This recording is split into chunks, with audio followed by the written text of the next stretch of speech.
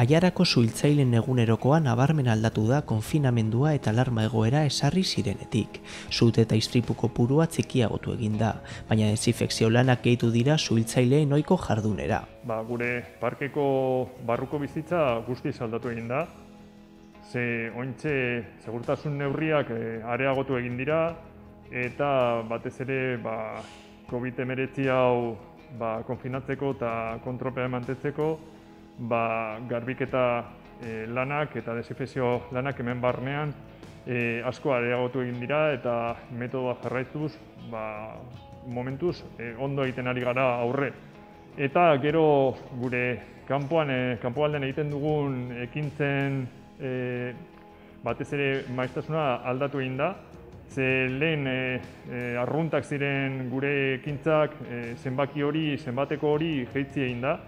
Ze beti ere ekintza horiek daude ba, gizartearen jardunaren e, neurri eta kopuruarekin oso lotuta, ez? Eta ointze batez ere gehitu egin direnak edo lan handia ematen ari direnak dira ba, e, leku ezberdinetan e, egiten ari garen desinfezio lanak. Batez ere ba, jendea pilatu egiten diren e, lekuetan, Eta gero noski ere ba, erresidentza e, gure ba, nagusien egoitzetan, ambulategietan eta merkatalguneetan batez ere. Desinfezioen helburua da COVID-19ak e, e, eragiten duen e, e, virusa hori akabatzea, ez? Eta e, kontrolpean izatea ointxe bertan daukagun pandemia hau.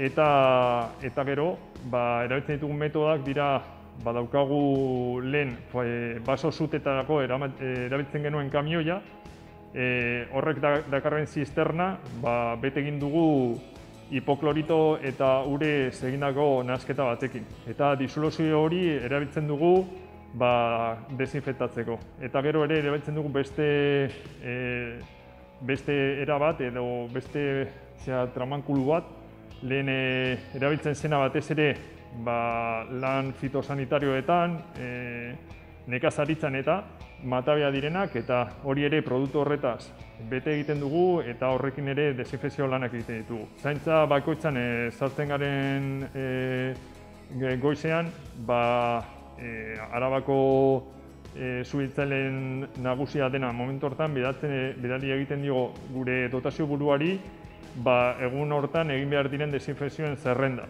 e, eta ba, lehentasunei jarraituz, ba, azten gara e, desinfezioak e, egiten ez.